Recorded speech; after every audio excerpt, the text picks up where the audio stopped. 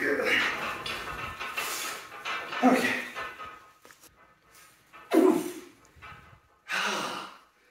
Here we go.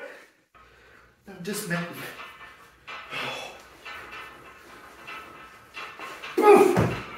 There you go.